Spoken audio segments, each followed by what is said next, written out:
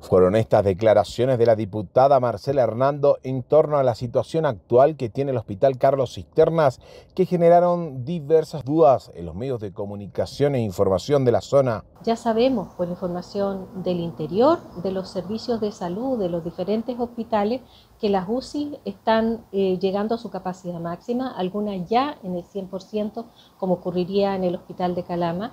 Y esto es con pacientes COVID que están nuevamente eh, volviendo a inundar los servicios eh, de atención.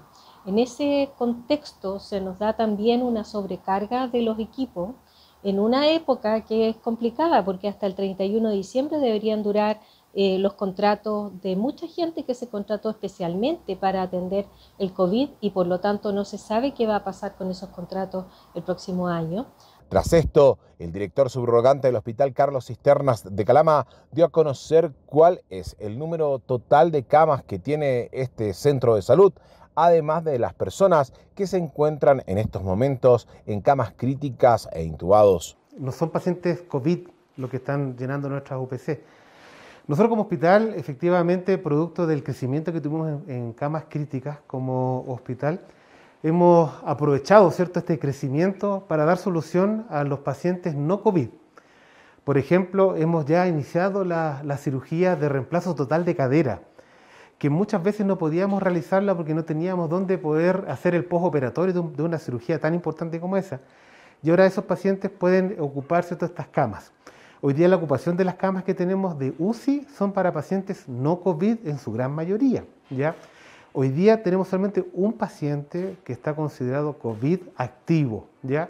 Hay algunos pacientes que son de la etapa ya COVID no activo y que están producto ¿cierto? de la enfermedad en nuestras camas UCI pero no es, la, no es nuestra ocupación total. Hoy día el hospital tiene para crecer hasta 30 camas UCI, si lo necesita. Esas camas nosotros no las hemos aperturado todavía a la comunidad porque entendemos que son camas necesarias para la segunda ola.